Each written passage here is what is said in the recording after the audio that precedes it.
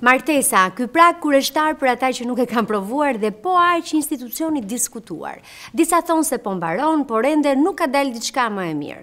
Në asnjë rast, vetmia nuk mund të jetë më e mirë. Kur pashë shfaqjen Dhimbje e lehtë me regji të Drini Hasanit mendova, ja, ata të dy janë dy të ftuarit idealë për martesën, një çift në skenë dhe në jetë. Genc Fuga dhe Eni Jani. Faleminderit që ju kam sot në këtë video podcast. Dhe ta sqarojmë pak, martesa kaq problem është bërë, pse ankohen njerëzit? Pse qesh, Eni? Në momente të caktuara, mund të themi që edhe quhet po, problem, nuk do ta quaja fare problem. Domethënë, Kur e mendoj them, nuk është problem. Në momentin që ti e ke ke vendosur dhe ke qenë e bindur brenda vetes që ky është ai personi me të cilin ti do ndash pjesën tjetër të jetës, nuk mendoj që mund ta konsiderosh problem. Në momentin që do arrijë dhe do quhet problem, atëherë do të thotë që ka ardhur momenti që s'mund të jeni më bashkë dhe do ktheheni problem për njëri-tjetrin dhe aty pastaj do ishte vërtet gjynah për vetë çiftin, por edhe nëse do kishin fëmijë, do ishte problematike edhe për pjesën e fëmijëve. Nuk, për fat të mirë, ne nuk kemi arritur në këtë pikën që ta quajmë martesën problem. Jemi mirë. Ju në jetë jeni çift shumë i harmonishëm. Të paktën kështu duket se nga jashtë gjykohet kollaj. Apo jo, Genc? Kështu kështu jemi, është e vërtetë. E para, intensiteti i jetës nuk na lë që të shtiremi. E dyta është harmonia brenda shtëpisë na na ndihmon që të harmonizojmë edhe obligacionet përkatëse. Unë në universitet edhe Eni në në televizion. Ndryshe nuk nuk bëhet. Në këtë cast kam bërë gjithmonë tema dhe një nga temat e preferuara ka qenë martesa, po ideja më ka lindur kur pashë Scenes from a Marriage, nuk e di nëse e keni parë, është një serial ka qenë suedez, po është i adaptuar nga Hollywoodi, luan Jessica Chastain dhe Oscar Isaac. Duhet ta shihni, po nuk e keni parë se... Nuk e kam parë. E, kështu që ne nuk mund ta diskutojmë, por mora shkas nga ky serial, i cili në fakt në fund të thotë që martesa është e mirë. I pari nuk ka qenë i tillë, ka shkaktuar shumë divorce në kohën e vet. Tani, këto teoritë që thuhen se martesa është një institucion që po mbaron, duhet të dali diçka tjetër. Si vijnë tek një çift i martuar? Unë si Genci kam qejf t'i ngatërroj pak gjërat. Vërtet jetojmë në një kohë tepër të vështirë. Martesa ka të bëjë me konsolidimin e kryefamiljarit në vetvete dhe si me thënë lehtësia me të cilin ti e zhvillon gjithë marrëdhënien brenda shtëpisë tënde. Ne jetojmë kohët, jo vetëm ne, është në, në, në rang gati gati europian, kohët më të vështira për kryefamiljarin. Po ju jap një shembull. Në rast se ka një obligim kundrejt lokaleve që ta zbukurojnë atë me lule, mhm. mund të kishte një obligim për lokalet që 30% të tavolinave t'i dedikoheshin familjeve. Flas, çifti, po edhe fëmijët që janë pjesë e pandarë. Në këtë moment ndihmohet kryefamiljari. Dhe për dreq, kryefamiljari është ai që paguan kryesisht. Okej? Ë po ta shikoni gjithë jeta e natës nuk i dedikohet më kryefamiljarit. Tamam tamam paguesit. Po ta shikoni vendet e luksit kanë marrë një prioritet shumë të madh, po asnjë nga këto vendet e luksit nuk ofron asnjë gjë për kryefamiljarin. Ë e të tjerë e të tjerë. Kështu që kam kam idenë që shoqëria mhm. është në struktura të saj Është një çik ndryshe kundër kryefamiljarit. Sa po më pëlqen Genci që po ua qan hallin burrave të martuar që të jo, kenë një vend. Jo, mua s'po më pëlqen fare. Në kuptimin që e kanalizon te kryefamiljari. Po pra. Po nuk ka se si ta kanalizosh te kryefamiljari, sepse nuk ka më, unë nuk besoj që ka më gra apo partnere që çdo gjë e lënë dhe e mbështesin te pjesa e kryefamiljarit. Jo.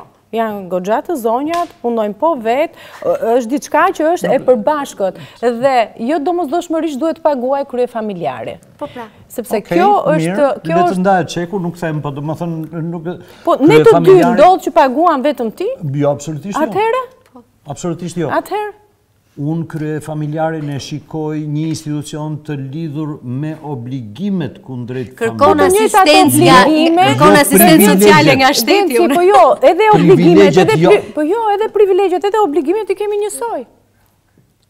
Nuk e shikoj të tillë si e shikon. Genc, po, çfarë do preferoje si kryefamiljar ti për shembull, ndonjë pension për shembull nga shteti për vështirësi në punë? Jo, jo se po t'u hyjmë vështirësive kanë më tepër partneret për vështirësi edhe prandaj. Jo, jo, edhe jo, shok vetë vetë. Në rast se në rast se kemi një një grua apo amvisë shtëpiake, okay? Mhm. Ëh, Kjo është zgjedhje e të dyve. Po jo, sikur... Kjo është po, zgjedhje e të dyve. Po jo s'ka, sepse është zgjedhje e të dyve. Edhe partneri e ka zgjedhur që bashkëshorten ta mbajë në shtëpi, se ashtu mendojnë që është më mirë për ta, që të merret me fëmijët, që t'i dedikohet edukimit të fëmijëve, dhe e ka zgjedhur që të punojë vetë. Kjo është zgjedhje. Unë po nuk besoj që Edhe nëse mund të ndodhë, se në jetë ka momente të ndryshme, mos u çudisni se ne kështu na shkojnë intervistat gjithmonë. Si për të të marrë, zot, duken gjithë si për të të jo, marrë. Jo fiks si të martuar, duket. Po patjetër. Po e mbajnë gjallë ama martesën. Çfarë e mbajnë gjallë martesën, Genci? Përtej shakave. Ja, është një nga këto gjëra për shembull. Diskutimet. Biseda. Qarja e hallit. Të ndarit e gjërave. Të lënit në garderobë të egoizmit. Isha gati duke thënë, ajo amvisa shtëpiake, ajo duhet të marrë rrogë nga shoqëria. Duhet të marrë rrogë. Ne nuk jemi në gjendje. Shkove shumë larg zemër. Okej, ky është koncepti im, më fole për po. ndihmën e kryefamiljarit apo jo? Po, po. Edhe unë me këtë t'u përgjigja. Megjithatë, nëse ë e lëm këtë gjë. ë Duhen dy për një tango. A pra. Edhe shoqëria s'ka pse jep rrogë askujt. Shoqëria duhet të jetë thjesht gati të pranojë Ndryshimet, për shembull, ju jeni një njeri që besoni shumë te martesa për vetë faktin që jeni rimartuar. Po. Pra ju tregoni me shembullin tuaj, Genci, Eni qesh, është e qetë. Mhm. tregoni me shembullin tuaj se martesa nuk është institucion i dështuar. Jo, besoj tek. Martesat dështojnë, po jo martesa si koncept. Pra, jo, fakti që njerëzit e ribëjnë tregojnë që ka diçka aty brenda Më tregoni çfarë është ajo magjia dhe gjëja e mirë e martesës? Me të dy e kam pyetje. E kuptoj. Unë mendoj që e mira është që duke nisur që në mëgjes, domethënë, ti hap sytë dhe nuk e nis ditën vetëm. Dhe për mua kjo është shumë e rëndësishme. Ose që kur fle, Që kur fle, ti nuk fle vetëm, nuk e mbyll ditën vetëm. Qoftë edhe ato momentet e fundit apo diskutimet e gjërave që nuk ke patur mundësi t'i diskutosh gjatë ditës dhe ai është momenti yt apo i yni për ta ndarë dhe për të diskutuar pjesë të ditës. Pjesë tjetër janë edhe këto zënkat në thonjëza nëse do t'i quaja se nuk gjej dot një fjalë në shqip si ta përshtas, edhe debatet, edhe të qenit kundërt me njëri-tjetrin dhe diskutohet pastaj Ajo që ti trashëgon më të mirën tonën, që janë fëmijët, që unë i dua shumë, ne i duam si çift, sepse ka njerëz që zgjedhin edhe mos të kenë fëmijë në jetën e tyre, është e drejta e tyre ta mendojnë ashtu. Ka dhe që zgjedhin të mos martohen? Dhe të mos martohen edhe të... Por që unë nuk e konceptoja dot veten time, domethënë që madje edhe me një fëmijë, unë nuk e konceptoja dot veten time. Ju keni dy vajza, ti ke dy vajza, Unë kam Genci ka tre. Genci ka tre. E quan vajzë tënden edhe vajza që është e Gencit nga martesa e parë? Nuk ka ndodhur, unë e thërras në emrin e saj. Nuk, edhe kur i drejtohem, nuk them vajza, them emrin e Fionës, Fiona. Okay. Genci? Ku ishe, ku po humbe? jo, ishim tek ajo e mira e martesës. Ç'të tërheq? Çfarë është gjëja që ia vlen shumë? Se Eni tha, Nuk zgjohesh në mëngjes vetëm dhe nuk fle në mbrëmje vetëm. Dhe qëndron mendoj. Në rast se, në rast se ndërtohet mirë, ë është një është streha më e mirë kundrejt cinizmit që na rrethon. Ë është një cinizëm shumë i madh. Shumë i madh. Ë është janë sfida nga mëngjesi deri në darkë. Janë gati gati janë momente që kalojnë sfida kaq të rënda sa kalojnë në mbijetesë. Jo, jo në një jetesë, por në një mbijetesë. Kjo quhet jetë. Dhe kjo është pjesë e jetës. Disa mund ta kufizojnë jetë, disa mund ta kufizojnë mbijetesë etj etj. Të paktën të sigurosh ato orë të ditës mhm. Një lloj rrufe pritëse nga gjithë këto që merr. Dhe vërtet martesën edhe edhe familjen e konsideroj si të tillë. Në rast se nuk është. Kur humbet pasioni, ka shumë që thonë që me kalimin e viteve ndryshon, merr një formë tjetër dashuria, seç thonë disa gjëra, po i dinë të martuarit. Jo, mendoj që duhet të jetë me faza. Ah, okay. Sepse sigurisht në një lidhje kur je dy veta, sigurisht që ke njëri-tjetrin. Mhm. Në momentin kur vijnë fëmijët, prioritet kthehen fëmijët. Gjithë vëmendja është tek fëmijët. Dhe dashur pa dashur, mbase mbase dhe nuk të mbetet kohë, mund të duket pak e çuditshme në mhm. mënyrën si e thua, po vërtet ti nuk ke kohë që t'i dedikohesh pasionit. Sepse kur fëmijët janë të vegjël ti je në në në në sprint gjithë kohën, do zgjohesh mm. herët në mëngjes, do të çosh njërin në shkollë, pastaj do t'i marrësh nga shkolla, pastaj do jenë kurset, pastaj do jenë detyrimet e tua, se ti nuk ke zgjedhur që të heqësh dorë nga karriera jote dhe ky profesion i ynë ka goxha jo provat, jo paraditja, mbasditja, punojmë në vende të ndryshme, se nuk është se jemi të dedikuar vetëm tek teatri dhe është më e thjeshtë, merresh vetëm me teatrin. Dhe ne na shkon dita vrap gjithë ditën. Dhe jo gjithmonë ti ke luksin apo mundësinë që t'i dedikohesh vetes edhe partnerit tënd. Mendoj që vjen një moment, me ç'kam dëgjuar nga të tjerë që i kanë kaluar këto faza, si në momentin që jemi ne, që fëmijët rriten, shikojnë jetën e tyre, janë të zotët e vetes dhe atëherë ti kthen prapë vëmendjen tek ajo pjesë që në një farë mënyre edhe e ke harruar disi. Po, po. Mendoj që është çështje e çështje fazash të jetës. A është arsye divorci në një martesë që ka humbur pasionin, nuk e dëshirojnë më njëri-tjetrin, të paktën në aspektin intime kam fjalën, por janë mirë me njëri-tjetrin. Shkojnë shumë mirë, diskutojnë, kanë fëmijët. Çfarë mendoni për këto raste që kërkojnë dashurinë? Papritur zgjohen dhe kërkojnë dashurinë. Pak para humbjes së dashurisë, aty kanë humbur disa gjëra të tjera rrugës. Pak para kësaj kanë ndodhur gjëra të tjera rrugës që ne i identifikojmë apo i etiketojmë si humbje pasioni, si humbje vëmendje, si humbje shumë gjëra. Kanë ndodhur ato gjërat e vogla më përpara. E rëndësishme është që ne Nuk do ta thoja kështu Genci, se mbase ata prapë janë mirë me njëri-tjetrin, kanë respektin, gëzojnë respektin për po. njëri-tjetrin, që respekti është shumë i rëndësishëm në një lidhje, edhe sado të kesh pasionin dhe dashurinë mes, respekti është një, një hallkë që i lidh shumë mirë këto, këto të dyja. Por kjo kam pas, përshtypjen pastaj varet çfarë ka prioritet gjithsecili në një lidhje. Mhm. E kemi të mirë ne shqiptarët që nuk ndahemi kollaj? Për shembull në botë është Pak e vështirë ta marrë atë hap. Mendoj që do vim në këtë, mendoj që do vim, po neve mm. jemi, gjërat ke ne kanë ndodhur me hapa më vonë. E ka bërë më të suksesshme martesën kjo gjë, apo në jo fakt e ka bërë më hipokrite? Më hipokrite, mendoj. Sepse pjesa më e madhe janë detyruar që ta bëjmë për hatër të, dhe unë nuk mhm. jam dakord me këtë, që unë të jem mirë në sy të shoqërisë, duhet të sforcohem dhe të shkel mbi veten në të qenit mirë me veten time. Jo, këtë nuk do ta pranoja. Mendoj që i ka bërë dëm më shumë. Martesa dhe divorci janë thellësisht të lidhur me uh, me mentalitetin e një populli që kryesisht udhëhiqet nga ekonomia e tyre. Mhm. Ne nuk mund ta gjejmë prallën një në një milion apo dashurinë e vërtetë në një mizerie ekonomike dhe mizerie shpirtërore. Ne nuk mund ta gjejmë martesën si institucion në po të njëjtën mizerie ekonomike dhe mizerie të brendshme emocionale. Sikurse ne nuk mund të ekzekutojmë divorcin ashtu siç donim, në momentin që nuk kemi alternativë tjetër shtëpie, duhet të ndajmë kredinë, po duhet të ndajmë dhe janë këto ysyret që na përplas shoqëria në fytyrë që më mirë pastaj bashkëjetojmë me ato hallet tona dhe ja hedhim pastaj destinit. Ne harrojmë të gjithë të bëjmë pushimet e vogla. Ne të gjithë harrojmë, ne nuk e dimë në koncept çfarë do të thotë pushim martesor. Kujt i thua pushimet e vogla, se më tërhoqi? Pushimet e vogla si në si në nëntëvjeçare, ke 45 minuta fizikë, do bësh 5 minuta pushim dhe pastaj do recitosh atë vjershën lexim.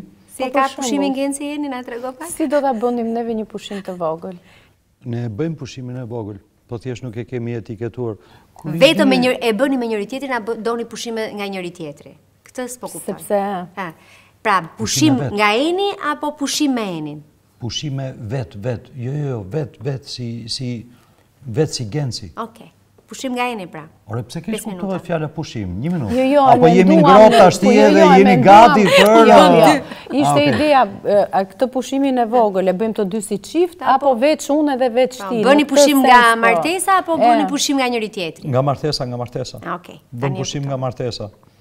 Mund të jenë fare të thjeshtë, zakonisht... Po e mendoja për të dy, po e kuptoja.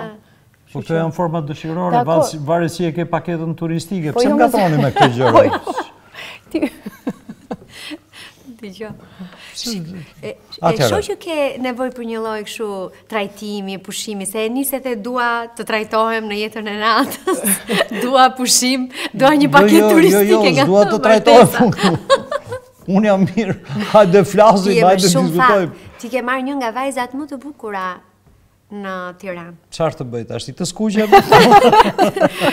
Po je xha në pushim. Je në pushim ti duke pushuar je ja, me një vajzë si Eni. Ë, apo kështu. Uh, Mësohesh dhe me me më të bukurën, ë, kështu thonë. E di ti që një personazh nuk po ia them emrin, po e ka thënë shumë mhm. bukur, është personazh karizmatik. Thoshte, Pas një viti, gruaja më e bukur zbret në nivelin mesatar. Pas një viti, gruaja më e pabukur ngjitet në nivelin mesatar. Është e vërtetë? Po po, në rast i merr në provim patjetër. Jo, jo, nga pamja. Provim, provim, prop. Ai po. provimi.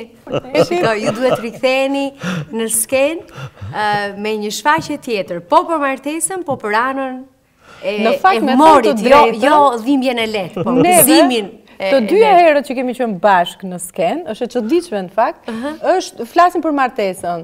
Komedia e parë ka qënë me Inisin 10 vjet martesë, dhe prap ishte çift që tregonte jetën e një çifti nga fillimi, si u njohën dhe derisa ishin pleq të dy. 10 vjet martesë të dy. Jo, zemër... Vjetët e martesës ishte titulli. Titulli pra 10 vjetët e martesës. Dhe ndërkohë... Was there.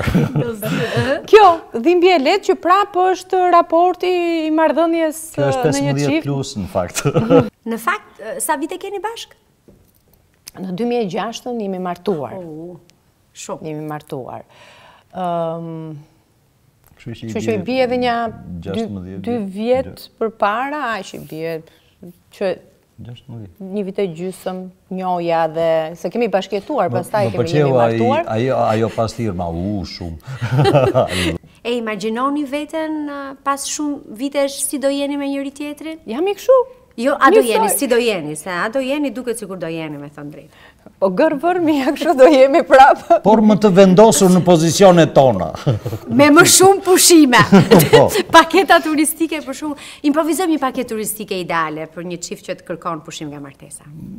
Mos më pyet në këtë orë të ditës. Të lutem. Nuk di çfarë të them. Ti ku do doje për veten tënde të pushoje? Nuk thot gjeni. Nuk thot gjeni. Jo. Okej. Okay. Unë vdes për mal. Mhm. Eni vdes për plazh. Ku do shkoje pa Enin diku?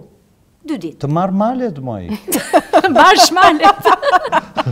Ku do shkoj pa Enin? Në mal. Në mal. Na e lapet. Eni, xhelozi ka mes jush a? Po. Ëm Nuk besoj që... Thonë shpesh herë që xhelozia tregon dashuri. Mhm. Unë mendoj që çdo gjë ka sensin e masës. Në qoftë se do kalohet ky sens mase, pastaj vetëm dashuri nuk mund të jetë ajo xhelozia. Domethënë, se unë ty të dua dhe prandaj e bëj. Domethënë, do të kthehet në të kundërtën. Për fat të mirë, nuk jemi natyra që ia nxijmë njëri-tjetrit në këtë pjesë. Domethënë, të përdor termin t'i nxish, thjesht duke e justifikuar se unë të dua. Domethënë. Jemi shumë të mirëkuptueshëm kundrejt njëri-tjetrit, jemi tolerantë në kuptimin e, ose më saktë, arrijmë ta kuptojmë kur vjen një moment që ka një ngarkesë, secili nga ne dhe ka nevojën e vet për të shkarkuar, sa mund të jetë mundësia, thashë se neve në fazën që jemi po. kemi vajzat dhe mm. edhe të duam të bëjmë këto shkëputjet, nuk i bëjmë dot, larg dhe gjatë, një javë, 10 ditë. Unë nuk rri dot unë e para dhjetë ditë pa vajzat. Por e ndjejmë dhe nuk kemi, këtë kemi të mirë, që nuk është e nevojshme që ne t'ia shprehim njëri-tjetrit. E kuptojmë shumë mirë mhm. dhe mjafton që njëri ose tjetri të thotë, unë kam nevojë do lëviz, do iki këtu te kjo gjëja dhe nuk ka më pse si qysh tek, jo, këtë. Si ia bën një çift i martuar që kanë pak a shumë të njëjtin profesion për të përballuar jetën në Tiranë mes shfaqjeve, ah. punës, fëmijëve, si ia bëjnë dy artistë që janë martuar me njëri-tjetrin? Se mund të ishte për shembull njëri biznesmen, kryefamiljari. Mirë ah. do ishte një rasht. Ah, do ishte do ishte. Dhe mos na hap këtë plagë, se e ka pas atë drejtim dhe hoqi dorë. Ashtu. Mund të kishe qenë për shembull një Kisha qenë. Oligark? Jo, oligark, deri te Samir Mane, jo. Nuk shkojmë, deri aty, jo. Po, ja një avësit vetës. Deri ku, për shembull? Kam pasur një kompani marketingu për një ah. periudhë 3-4 vjeçare. Dhe ka pas shumë herët, që mund të them ka qenë ndër kompanitë e para e para. Pastaj, ndryshoi qasja e kompanit, e kompanive ndërkombëtare kundrejt tregut tonë, ishte momenti kur, si me thënë, brendet nuk ishin më zyra këtu dhe përfaqësoheshin nga distributorët, ky shkatërrim që iu bë tregut e tjerë e tjerë dhe një pjesë e mirë e kompanive të reklamave që punojnë me brendet, dolën jashtë loje. Eni, nëse do ishit më të pasur, çfarë do bënit? Çfarë mendon që do bënit më mirë dhe do ishte më mirë për familjen tuaj? E beson që s'e ke mendu ndonjëherë? Jo, e para s'do merrnim kredi. Oke, jo, do ishte kjo. Kredi marrin gjithë të pasurit. Do ishte kjo. Po, për të blerë kredi të tjera. Mbase për të zhvilluar biznesin. Por nuk e kam menduar. Domethënë... Ja tani që e mendon, për shembull. Një mendim i shpejtë. Po, sepse mua më duket që Ne prapë shumë mirë jemi. Okej. Por mbase s'do mundoheshim kaq shumë sa mundohemi. Domethënë, do ishim mund të thonim jo edhe ndonjë projekti. Se do ta kisha luksin që... Është e vërtetë, paraja ta jep një lloj dinjiteti, jo, nuk i mungon as kur ke më pak, po të jep një lloj mundësie për të qenë më i pavarur. Mbase do bënim pushime më të mira. Mbase do kisha mundësinë t'i çoja vajzat në vende që s'kam mundësi t'i çoj tani dhe do dëshiroja që ato t'i shohin. Qoftë edhe mbase në ndonjë teatër jashtë mhm. kufijve të Shqipërisë, për shembull që të shikojnë një musical, gjëra të kësaj natyre. Mendoj, këto do ishin gjithmonë në shërbim të rritjes dhe të edukimit të fëmijëve, edhe të argëtimit, kuptohet. Genci? Ka shumë gjëra për të për të ndrequr. E vërteta është, domethënë, Eni në në në momentin e rastit që ishte mirë financiarisht, çuditërisht tha, shiko mund t'i them jo ndonjë projekti. Në fakt unë mund të thosha jo kundrejt punës së përditshme. Në rast se ajo krijon shumë presion edhe ti thuhet po çdo lloj projekti tjetër. Varet. Po secili e di vetë formulën e gëzimit vet. Po ta kisha unë do kisha hapur kompaninë teatrore time. E bukur si ide. Po nuk i dihet. Nuk është se unë nuk e dëshiroj këtë gjë, po ja, tani më kujtua kur the nëse. Kompania hapet për 10 minuta, ku do të shfaqesh? Gjenden format dhe mënyrat. Po të rri të mendoj kështu si thua ti nuk do bëhesh asnjë gjë, Genci, kështu që...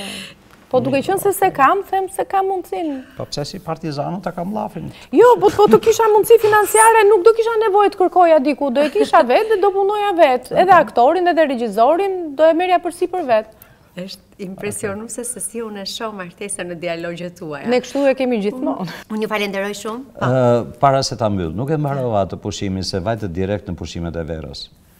Zakonisht kur mbarojmë pjesën këtu, ne bëjmë një çik rrugë më të gjatë për të vajtur në shtëpi.